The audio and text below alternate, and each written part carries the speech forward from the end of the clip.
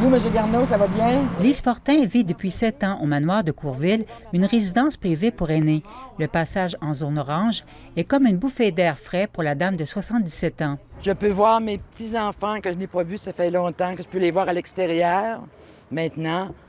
Puis je suis très heureuse de ça.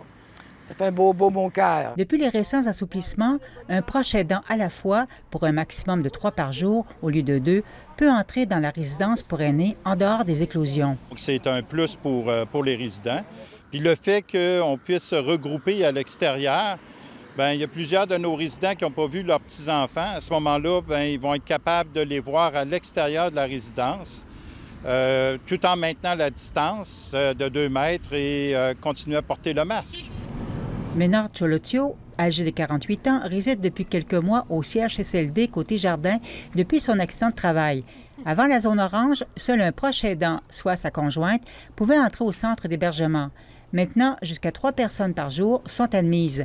Ainsi, sa sœur et d'autres membres de la famille peuvent le visiter. On a été obligé de le, placer ici, euh, à la résidence côté jardin, parce qu'il y a eu une perte de mémoire complète.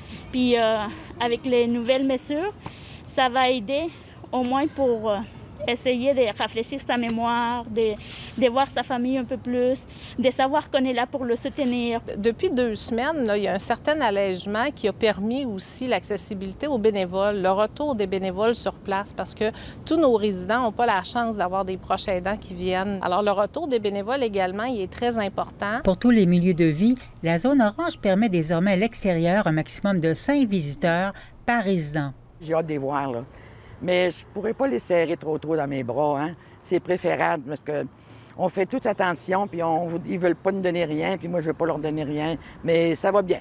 On, la lumière s'en vient. Ici Nicole Germain, Radio-Canada, Québec.